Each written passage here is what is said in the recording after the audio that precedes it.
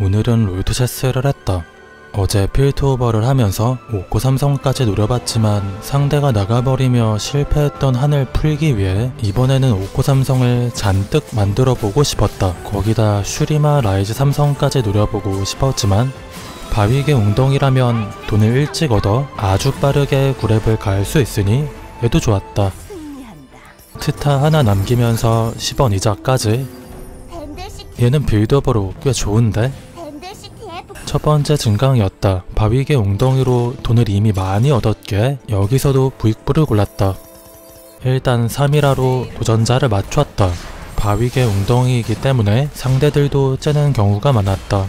연패를 할 것이냐, 연승을 할 것이냐 정해야 하는데 이겨버리고 말았다. 하지만 40원 이자를 받아주면서 그냥 져버리는 것도 괜찮았다.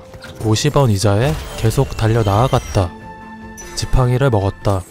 구인수를 만들었다.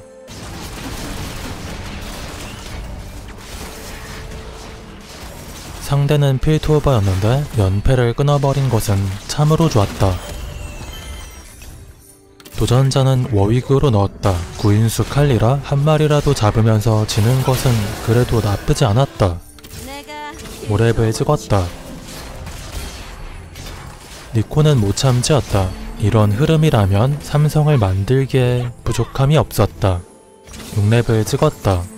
태블망에 피박까지 만들었다.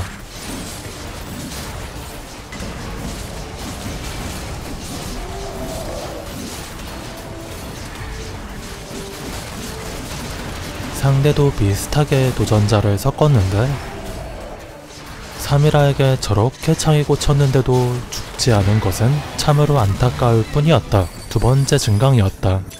건강관리 중요한데 천군만마까지 나오다니 굉장히 고민에 빠졌다. 어차피 피관리를 할 바엔 죽더라도 달리는 게 나았다. 문제는 천군만마 하지만 지금 5코 삼성각이 너무 보이기 때문에 40원을 얻어주기로 했다. 5코 삼성을 여러 개 만들기 위해선 계속해서 달려야 했다. 물론 버티지 못하거나 구랩에 광탈하면 어떡하냐고 물어본다면 그냥 또 다시 달리면 됐다. 실패를 두려워하지 않으면 못할 것도 있긴 한데 그래도 두려워하는 것보단 나았다.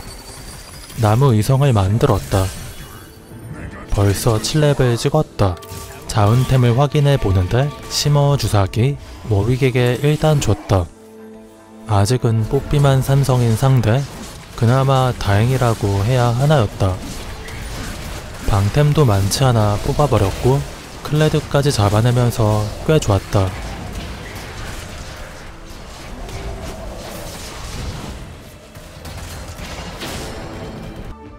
지팡이를 먹었다. 플레 증강이 나오다 보니까 레벨업이 순식간이었다.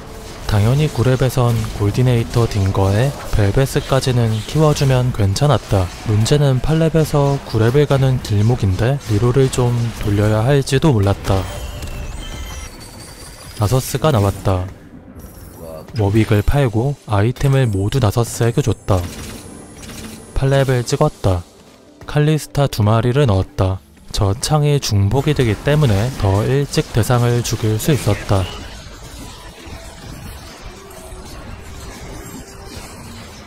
바위개 웅덩이라 상대들도 째고 있어서 오히려 피관리 면에선 괜찮았다. 8연패를 끊어내며 다음 크립에선 또 돈을 얻을 수 있을 텐데 아이템이 그래도 꽤 풍성하게 나와줬다.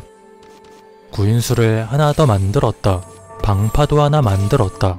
이번엔 특성의 고서 이성인 상대 자운의 그림자 또 그림자 군도 그림자 운도 덱은 상당히 웅장해지지 않을 수 없었다. 정말 한 수 배우고 싶은 창의성이었다. 세 번째 증강이었다. 돈, 돈으로 이번에도 돈을 얻기로 했다. 꽤 모은 돈을 털어보니까 4-2라운드 만에 9렙을 찍었다. 물론 바로 전환은 하지 않으면서 지고 나니까 바로 딩거에 벨벳스도 나왔다. 션 이성을 만들었다. 바로 한 턴 만에 골디네이터 3개 업그레이드 완료했다. 이제부턴 돈을 야무지게 벌어주면서 돈으로 상대를 패면 됐다.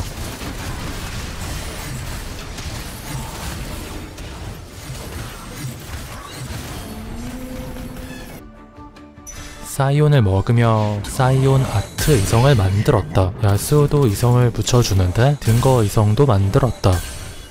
다음 크립까지 아이템을 보고 싶긴 한데 그냥 무대까지 바로 벨벳에게 줬다. 당분간은 절대 주면 안 됐다. 골디네이터로 연승으로도 돈을 최대한 벌어줘야 했다.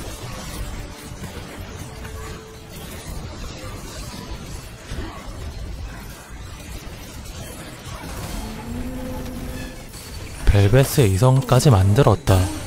지금 구랩도 엄청 빨리 오고 골디네이터도 엄청 빨리 모으고 이성작도 엄청 빨리 됐다. 돈을 모으면서 삼성 여러 개를 볼 수 있는 환경이 되어 아주 가슴 설레지 않을 수 없었다. 증강으로 다시 돈을 보충해주면서 바위교로도 다시 돈을 보충할 수 있었다. 어쩔 수 없이 이혼해 구원을 만들었다. 골디네이터 처형이 저번에 이해할 수 없는 버프였지만 12%로 늘어났기에 타이밍만 좋으면 진짜 떼돈을 벌 수 있었다.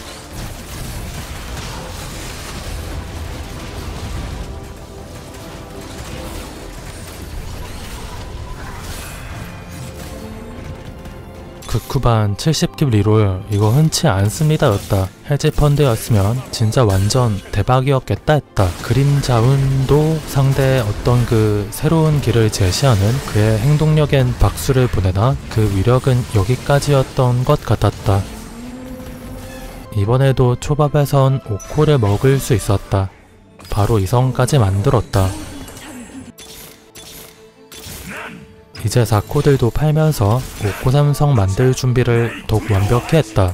상대는 기원자 아리를 굉장히 욕심내고 있는 상황이었다. 아마 9렙을 더 짠 다음에 아리 이성을 찍을 것으로 보이는데 일단 돈을 또 벌어주면서 두 명 살아있을 때 돈을 다 바닥까지 치려고 했다.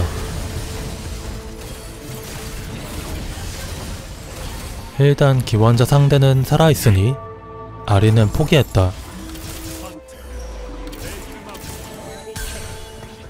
현재 4등인 자운상 대 제리 삼성이 코앞이기는 하나 여기서 죽으려나 했다.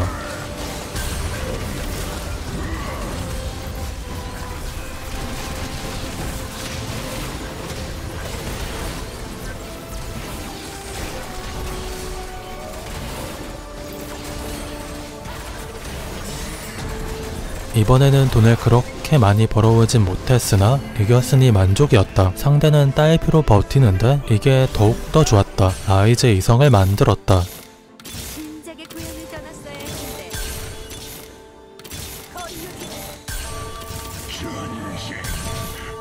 아리는 포기였는데 그냥 이성을 붙여버렸네였다. 팔아버리고 아이템은 3구인수로 편안했다. 이러면 아트가 하나 남았다. 벨베스도 하나 남았는데 흥분하지 않을 수 없었다. 다음 턴에 아트 삼성이 나왔다. 딩거도 하나 남아주면서 아직 상대들은 3명이나 살아남았다. 그런데 여기서 둘이나 미국으로 가버린다면 한 명이 빤스러 날 가능성도 있는 상황에서 3등이 2등을 이겨버리며 둘 다 남아준 상황 아트 삼성을 만들었다. 크산테 삼성을 만들었다. 이제는 진짜 돈을 다 쓰면서 삼성을 만들어야 했다.